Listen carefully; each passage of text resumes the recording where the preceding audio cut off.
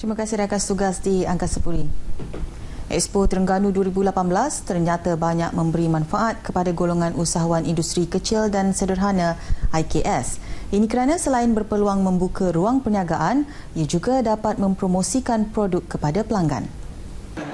Perkara ini diakui sendiri dua usahawan wanita di bawah bimbingan Empower ECR Aquapolitan Kuala Nerus dan Universiti Malaysia Terengganu UMT. Memilih produk cookies dan cupcake Sri Idayu Ibrahim 39 tahun kini bersyukur apabila produk keluarannya laris dan mendapat tempat.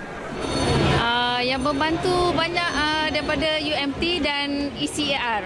Uh, Dia dari segi apa? Dari segi apa? Motivasi, packaging? Daripada segi motivasi, lepas tu daripada uh, daripada segi packaging, semua daripada mula produk tu daripada asal dah sampai ke dia ajar sampai macam mana kita nak keluarkan pasaran tu. Seorang lagi usahawan ialah Zuriani Stafa, 42 tahun juga daripada program Empower ECR Aquapolitan Kuala Nerus. Beliau menjual pelbagai jenis kuih tart mengakui produk yang dikeluarkannya mendapat permintaan luar biasa. Ha, kita pun ha, dapat peluang terbaik daripada Empower untuk dapat booth kat sini. Dekat Expo? Ha, dekat Expo Terengganu. Jadi boleh besar kan? Ha, besar. Dua hari kita jual kat sini pun produk laris, laku keras. Ha, sampai habis, sampai habis. Sampai dah ter, tak terbuat dah kita. Menurut penyelaras program dari UMT Nur Azura Sanusi, pihaknya melatih 43 peserta termasuk keluarga nelayan dalam bidang kemahiran dan keusahawanan. Tapi uh, kita dah mulakan juga pendidikan kecil-kecilan daripada tahun lepas. Kita mula dengan pasar tani, pasar UCTC dalam UMT sendiri. So dari situ membina keyakinan uh, peserta. Dalam masa yang sama kita tambah baik uh, packaging kepada produk supaya produk tu dapat uh, memenuhi cita rasa pengguna. Kalangan usahawan IKS ini juga merakamkan penghargaan kepada Menteri Besar Datuk Seri Ahmad Razif Rahman kerana memberikan sokongan padu kepada UMT dan ECR dalam melonjakkan ekonomi penduduk. Dalam pada itu, selain pelbagai produk jualan IKS, Expo Terengganu 2018 yang berlangsung selama tujuh hari turut mempunyai daya tarikan utama.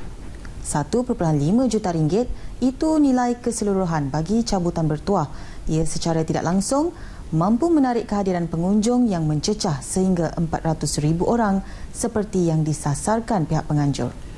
Walaupun expo ini bermula pukul 10 pagi, namun tinjauan mendapati keadaan di pintu masuk utama sesak dengan pengunjung yang mendaftar untuk mendapatkan pasport cabutan pertua.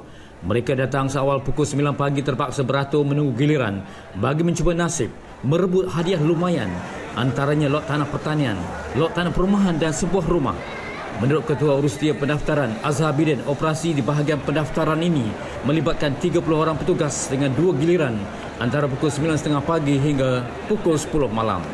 Sebaik memperoleh pasport, pengunjung perlu menjelajah dan mendapatkan cop di 16 lokasi termasuk di kluster negeri, daerah, JLC dan kluster portfolio. Semangat pertama sebab ini uh, expo yang jolo-jolo kali lah yang paling besar yang dibuat di Terengganu oleh Menteri Besar kita lah. Impian tu agar sebidang tanah ataupun sebuah rumah. Tu je. Ha. Itu yang mari. Ha, tu yang mari. Terpaksa mari walaupun berarak-arak. Ha, berata, berastar, bertalak-talak macam tu lah. Ha, Alhamdulillah.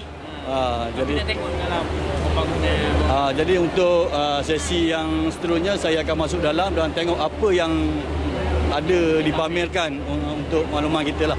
Uh, bagi saya expo ni sangat berguna lah kepada penduduk Terengganu uh, sebab uh, banyak peluang pekerjaan boleh datang sini lah. Uh, Siapa-siapa yang belum datang tu boleh datang sehingga... Expo berlangsung di pekarangan Kompleks Sukan Negeri Gombadak Kuala Nerus sehingga Sabtu ini manakala perasmian penutup dijangka disempurnakan Perdana Menteri. Stesen Radio Terengganu FM atau TFM juga tidak terkecuali dengan mengadakan program radio di lokasi di Tapak Expo ini.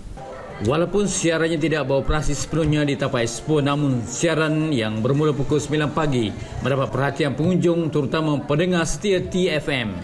Jadi memang sangat gembira rasa memang luar biasa kedatangan ramai hari ini pun.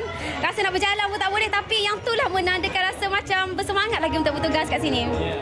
TFM turut mengadakan pelbagai aktiviti untuk mendekatkan dengan pendengar dengan mengadakan kuis dan persembahan karaoke selain uji bakat menjadi jurebah radio serta pembaca berita. Kena, kalau nak pergi kat Terengganu kena kawat bukit. bukit ya. Ah, bukit tinggi sangat. Orang sini rata dah tengok dengan Kak Acik, dengan Kak Alung, dengan dengan ayah, ah, abang ada, ayah dia pun ada. Suka sangat dah kat sini. Uh, rasa teruja sebab uh, this, uh, hari, ni adalah uh, kali pertama uh, sampai kat sini. Uh, sebab ni asal uh, adalah untuk kajian uh, projek kenegaraan kami. Uh, Heban semasa mengekspo menerusi konti sementara ini juga menarik ramai pengunjung untuk tidak melepaskan peluang menyaksikan ekspo terbesar di Pantai Timur. Laporan itu mengakhiri lintas langsung dari Terengganu. Kepada penduduk sekitar, jangan lupa pakat mari ke Expo Terengganu 2018. Kembali semula ke Angkasa Puri.